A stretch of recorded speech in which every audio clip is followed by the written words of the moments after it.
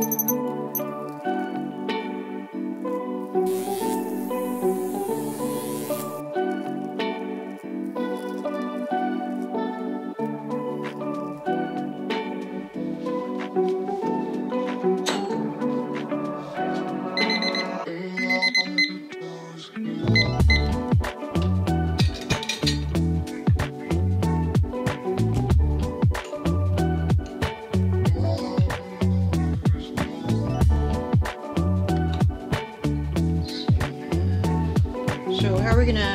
number these is one, two, three, four, five, six, seven, like that. Eh, this is a like a, a dot notebook, and I think this really helps me just the personal note-taking style that I like. I don't like lines and I don't like graph paper, but I do like dots. So it's like the in-between of total freedom and confinement. I do all of my roast log notes in here now. Um, I'll probably have like a nice little leather cover for this, but they're all gonna be in this size, this style, this works for me and how small my hands are. I've been doing a couple of experiments. Should I do it on like a clipboard? Should I do it in my phone? Should I do it here? Should I do it there? And this is the best way for me. I will do all of my roaster notes here and my cupping notes so I can go and refer very quickly and see what's going on there when I interpret the data. On the first go, number one, I thought good acid, kind of hollow. And I know which one this is. I'm gonna call it right now, it's Brazil, Ipe. And I went for like, um, to try to get the most nuance out of this coffee and see, because I typically would roast this medium, but on the cupping table, I wanted to, um, again, pull this, give this to Mike Perry as a light roast, which is kind of light, so like, um, I call it, it developed to 23% in this roast profile. Okay, number two, it was bright, berry, red, complex, light body. I don't know which one that is yet. Number three, it was really similar to that one, light body. The body in these was the thing that jumped out to me most besides the berries. Um, so cool. Four, I like it a lot. I don't know what it is. I like it. five, harsh. Immediately, I was like, something's wrong. Yikes. Number five. So yikes. I don't know what that is. Six, right here, solid acid. A little bit astringent on the finish. Uh, bitter. Um, dry. Tannins. Not the most pleasant. Seven, very good, sweet, acidic. I like this one a lot. So I liked seven and I like four. Two and three were really similar in a light body. Um, and that's, I don't typically personally go for light body coffees, but cool. So let's just see, okay? Let's check these out. I know this should be Brazil. Oh, it's the Guji. Wow.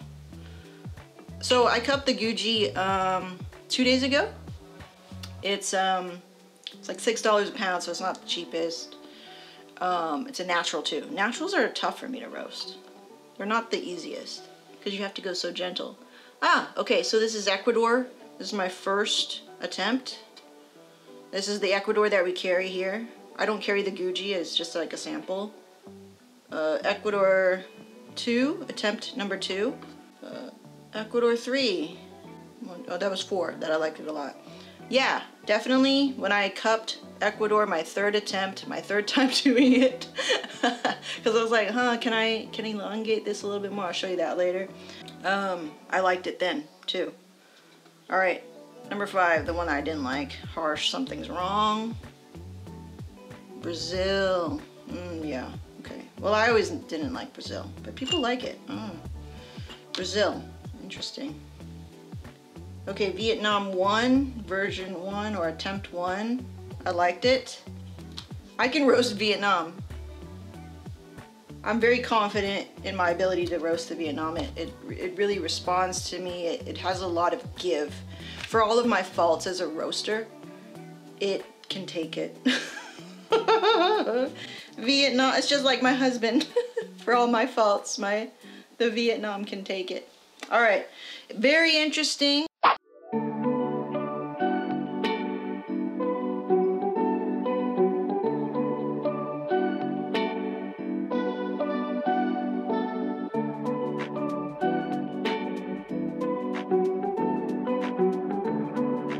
Okay, so number one, that was our Guji.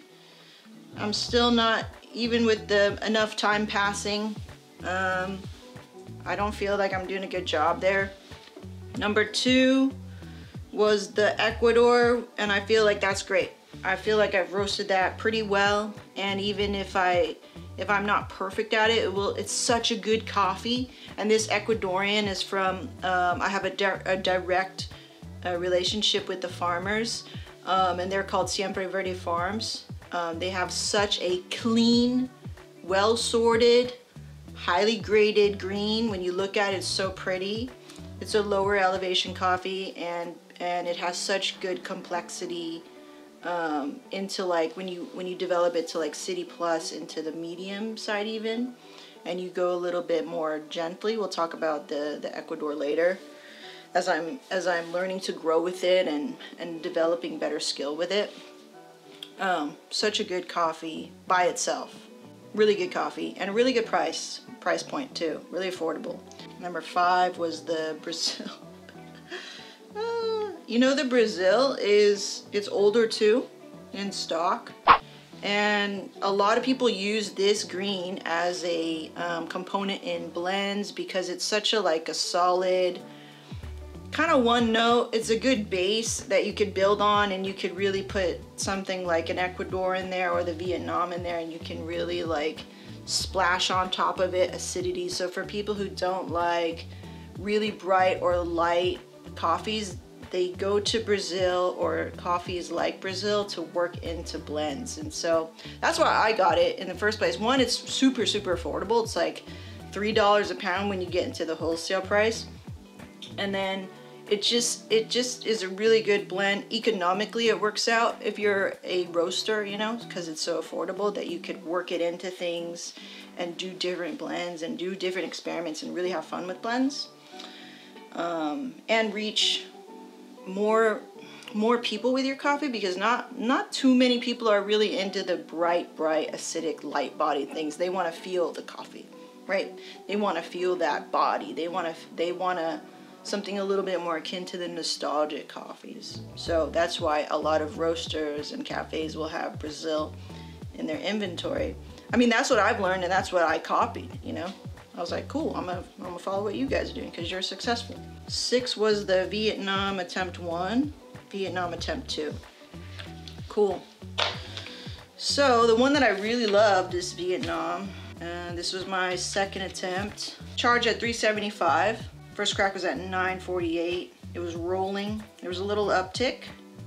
This is super interesting. The one that I love the most, the curve is not pretty, right? If I would, if I were to show it to Rail, uh, Rail, Rail, um, I'd be like, but cup it, okay? Taste it first, okay, before you judge. The Brazil's tasting better as it cooled down not uh, so harsh. Yeah, Ecuador is really good coffee.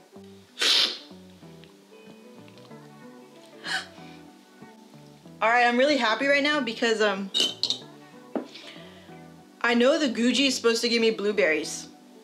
Africa equals blueberries to me. In my mind, always. Africa equals blueberries. I'm getting that now as it's cooled. Lauren from Mill City Roasters temperature, mass, flavor. I always have that in my mind and I and I will forget still. Mmm. Cool, I didn't I didn't fuck it up. you just gotta give it time to off gas, give off some of that harshness. I was tasting all the harshness, so a, a fun little thing in, in cupping is that you may be really um, excited to go and cup your roast right away. You have to give ample time for certain coffees, I think, to off gas to give off some of their harshness. And even here on the cupping table, just letting it cool and come down where you could taste what you can really taste and see what the coffee has to offer. So, and that's what we do, you know? We cup when it's really hot, okay. Um, we cup when it's cooling, cooling, cooling, cooling until it's really cool, till maybe even it's room temperature. And I'll leave this out every time I have a cupping day. I will. I like to start in the morning. I like to not have anything to eat Um, I have I still have my coffee in the morning, but I won't eat breakfast or even I won't eat until lunch because I really want to keep my palate, my tasting utensil as neutral as possible. So I'll try in the morning. I'll keep this out, right? And I'll keep it out until right before I eat and maybe even after I eat, after I've had some time in between meals, I'll come back here and I'll, and I'll taste it. If it's still the same, cool. But if I get something different, I have the notebook, I write it down.